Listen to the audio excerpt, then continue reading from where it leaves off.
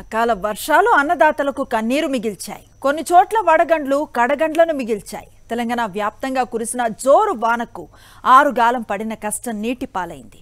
కొనుగోలు కేంద్రాల్లో మార్కెట్ యార్డుల్లో వాన నీటితో ధాన్యం కొట్టుకుపోయింది.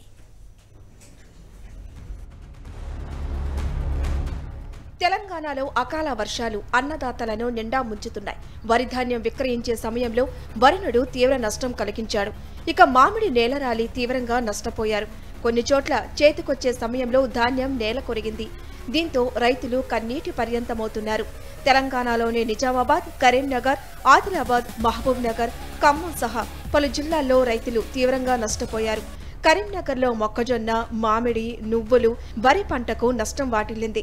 ఉమ్మడి నిజామాబాద్ జిల్లాలో ఇరవైకి పైగా ధాన్యం కొనుగోలు కేంద్రాల్లో భారీగా ధాన్యం తడిసి ముద్దయింది. కామారెడ్డిలో వానకు వరి పంట నేల రాలటంతో ఓ రైతు ఆత్మహత్య యత్నం చేశాడు. కామారెడ్డి జిల్లాలోని పలు గ్రామాల్లో రేవంత్ రెడ్డి పర్యటించి రైతుల నుంచి వివరాలు అడిగి తెలుసుకున్నారు.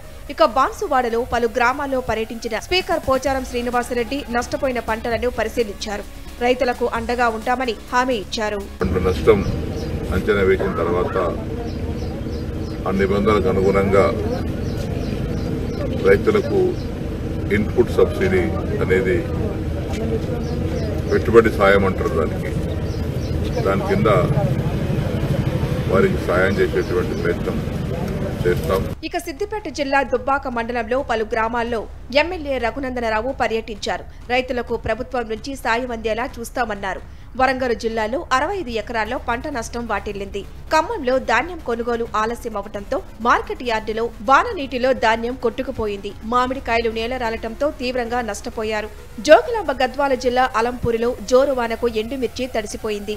నాగర్ కర్నూలు జిల్లా కలవకుర్తి నియోజకవర్గంలో మామిడి పంట పూర్తిగా దెబ్బతింది. ఈదురుగాలులకు మామిడికాయలు సపోటా కాయలు పూర్తిగా నేలరాలాయి భారీ వర్షం పడింది రాత్రి. గోదాములు లేవు. మార్కెట్ లేదు అసలు. కనీసం తట్లు ఇద్దామనే ఇది కూడా లేదు గవర్నమెంట్కి. ఇదల్లా అగ్రికల్చర్ వాళ్ళు చూసుకోవాలి కానీ గవర్నమెంట్కి అయితే తెలిపాలి అగ్రికల్చర్ వాళ్ళు. కొన్ని రోజుల క్రితం కురిసిన వర్షాలకు సంబంధించి ఇప్పటి వరకు నష్టపరిహారం దక్కలేదు. ఇక తాజాగా జోరు వాన మరోసారి నష్టం మిగిల్చింది. ప్రభుత్వమే తమను ఆదుకోవాలని రైతులు కోరుతున్నారు.